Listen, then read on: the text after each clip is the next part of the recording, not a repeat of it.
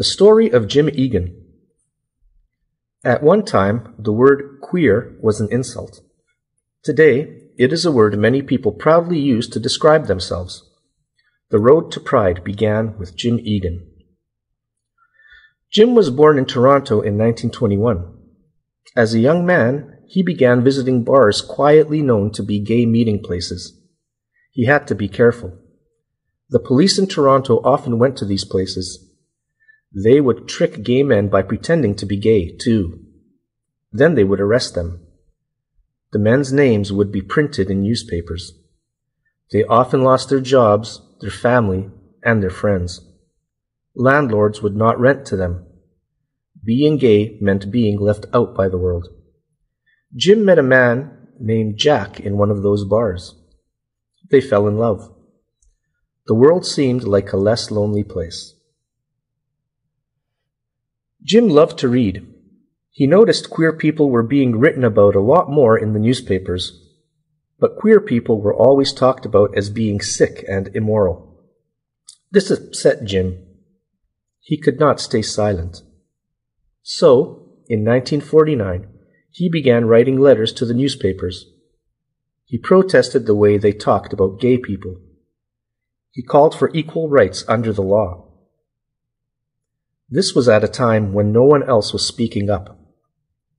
Over the next 10 years, his letters appeared in many places, including Time magazine. In 1963, a reporter from Maclean's magazine wrote a story about Jim.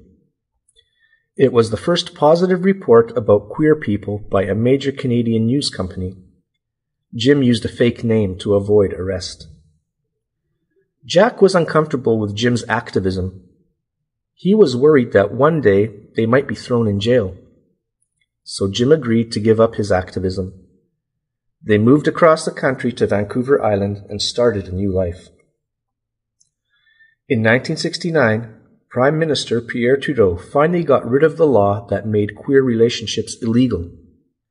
Trudeau said, There's no place for the state in the bedrooms of the nation. Jim and Jack no longer had to worry about being put in prison. In the 1980s, AIDS began taking the lives of gay men. Gay men whose partners died of AIDS did not have the same rights as everyone else whose partners were sick or had passed away. Jim returned to queer activism, and this time Jack was right by his side. They helped run an AIDS organization they also ran a drop-in group out of their home for queer people. Jim retired in 1987. The government would not give him and Jack the same amount of money that married men and women get when they retire. Jim and Jack had been together for over 40 years. They took the government to court.